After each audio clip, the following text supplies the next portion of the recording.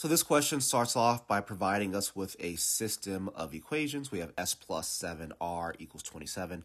We also have r equals 3, right? So it's not really so much a system of equations because although r equals 3 is technically an equation, it's also just telling us what the r value is, right? So if I look at my answer choices, for instance, uh, well, let's, let's not skip over the question. So the question says, what is the solution, rs, to the given system of equations? Well, that means we're asking, well, what is r? What is S?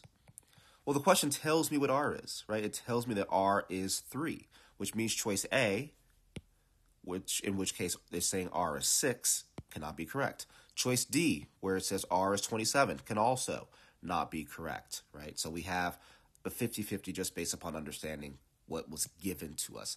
Next thing I can do is take this r equals 3 and plug it into the first equation.